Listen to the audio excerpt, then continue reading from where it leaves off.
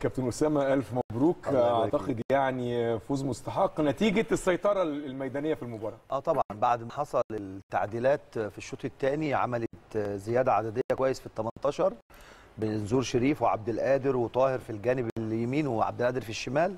و قفشة من وراهم هو وبيرسي تاو. فعملت كثافة ولاحت أكتر من فرصة.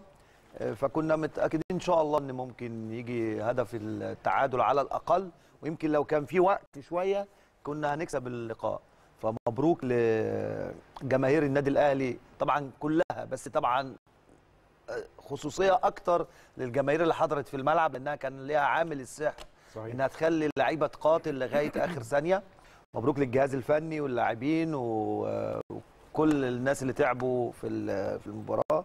مبروك لمجلس الإدارة مبروك لكل من ينتمي للنادي الأهلي. مكسب حلو جدا في وقت صعب والأهلي متعود على كده و hard luck لفرقة الرجاء. بذلوا جهد كبير جدا طوال ال 90 دقيقة. hard luck ليهم وهم نادي كبير وربنا يوفقهم في بطولات ثانية يعني.